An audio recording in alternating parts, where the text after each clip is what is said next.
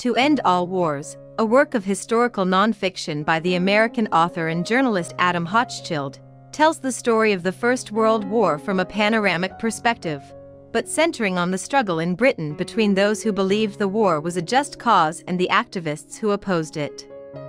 Hochschild also devotes particular attention to the war's many victims, including the soldiers who lost their lives and those anti-war activists who suffered for their convictions. Hochschild begins the book by introducing his particular approach to the much-told story of the Great War.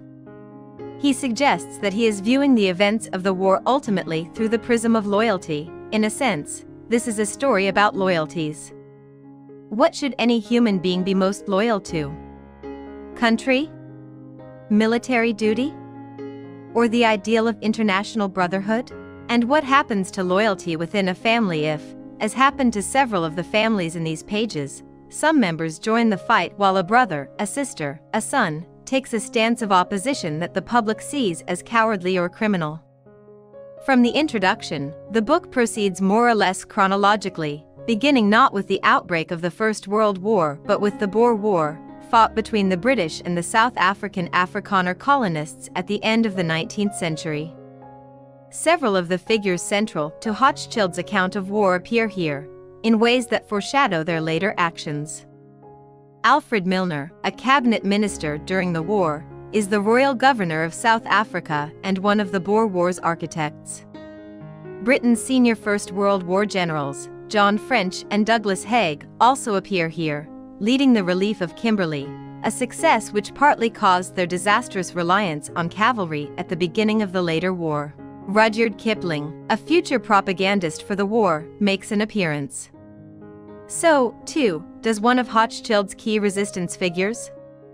Minister's daughter Emily Hobhouse campaigns to relieve the suffering of the Afrikaners impoverished by the Boer War, 27,000 of whom died in British-run concentration camps. During the First World War, Hobhouse becomes a prominent dissenter, representing Britain at a socialist conference in Switzerland and later traveling to Berlin to lobby for a negotiated peace.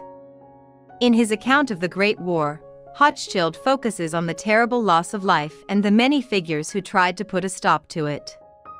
Their motives differ enormously. The Earl of Lansdowne pushes for a negotiated peace because he is horrified by the slaughter of young gentlemen. Socialists like Fenner Brockway, Alice Wheeldon, and John S. Clarke are appalled by the loss of talented working class men who could have helped to build a socialist revolution if they had lived. These different class based attitudes intersect in the figure of Cambridge philosopher Bertrand Russell, the grandson of an earl who was also a committed socialist. Russell, already inclined to pacifism, is hardened in his conviction when he wakes one night to the sound of his neighbors cheering the sight of a burning German Zeppelin he realizes that war has perverted both sides.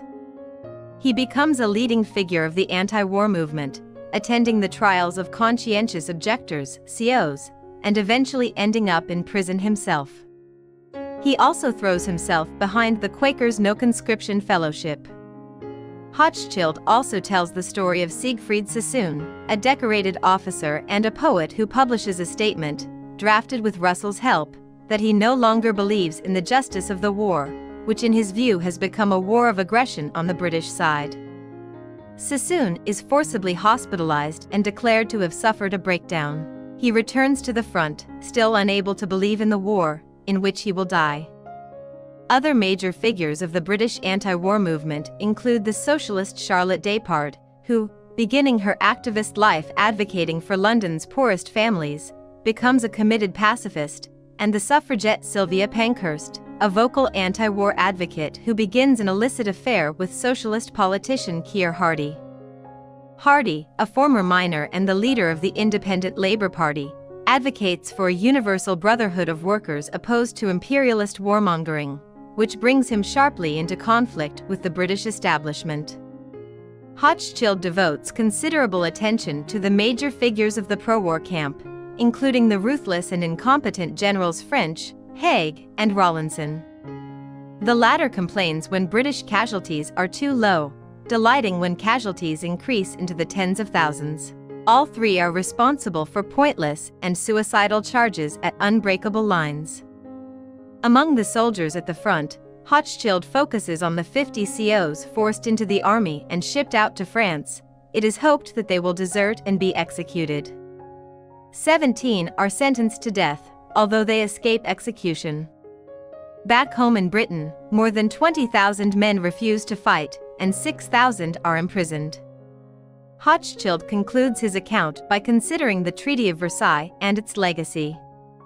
He notes evidence of increasing anti-Semitism in Germany as the war ends.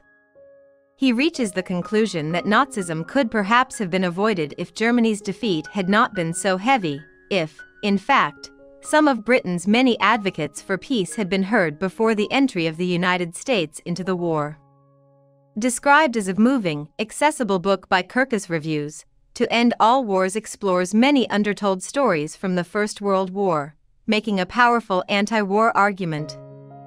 I hope you enjoyed this video leave a like if you did and be sure to subscribe thank you.